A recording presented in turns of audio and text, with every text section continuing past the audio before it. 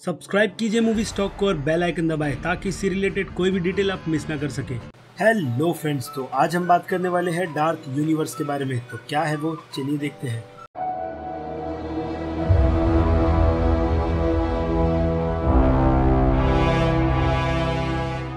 सो so friend जैसा कि मैंने आपको पहले कंफर्म कर दिया था कि डार्क यूनिवर्स अब यूनिवर्सल ने बंद कर दिया है, लेकिन अब एक ज़बरदस्त अपडेट आया है और एक खुशी की बात भी है डार्क यूनिवर्स फैंस के लिए। जी हाँ तो आप सबको पता है कि डार्क यूनिवर्स की पहली film the mummy box office पर अच्छा रिस्पॉन्स नहीं दिखा पाई थी, जिसके बाद यूनिवर्सल ने ये डिक्लेयर कर दिया था की अब वो डार्क यूनिवर्स बंद कर देगा, और ऐसा हुआ भी, लेकिन कुछ दिनों के लिए। तो अब स्टूडियो ने ये कन्फर्म कर दिया है की डार्क यूनिवर्स अपनी कबर से फिर से उठ गया है और वो एक बार फिर से मौका दे रहा है डार्क यूनिवर्स को कि वो एक अच्छी फ़िल्म लाए जिससे फैंस इस यूनिवर्स को एंजॉय कर पाए। ठीक वैसे ही, जैसे हम बाकी सुपर हीरोज की फ़िल्मों को एंजॉय करते हैं तो मेरे हिसाब से ये एक अच्छी बात है कि यूनिवर्सल ने अपने फैंस की सुन ली और इस डार्क यूनिवर्स को फिर से शुरू कर दिया। लेकिन अब जो गलती यूनिवर्सल ने की थी, वो वापस से ना दोहराए। जैसे कि द मम्मी फ़िल्म की स्टोरी लिखी थी पूरे चार राइटर्स ने, जिससे इस फ़िल्म की स्टोरी ऐसी भाग रही थी कि लग रहा था कि कुछ पार्ट फ़िल्म के अलग हैं और बाकी पार्ट्स अलग। तो उन्हें अगर इस यूनिवर्स को चलाना है तो उन्हें राइटर सिर्फ़ दो ही रखने पड़ेंगे, जिससे ये यूनिवर्स काफ़ी अच्छा बनेगा। एग्ज़ाम्पल के तौर पे कॉन्जूरिंग का यूनिवर्स वो लोग उस यूनिवर्स को काफ़ी अच्छा बिल्ड कर रहे हैं। तो इस इंस्पिरेशन को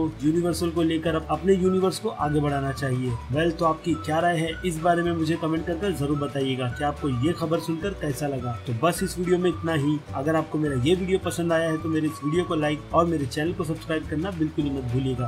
मिलते हैं आपसे अगले वीडियो में। Till then bye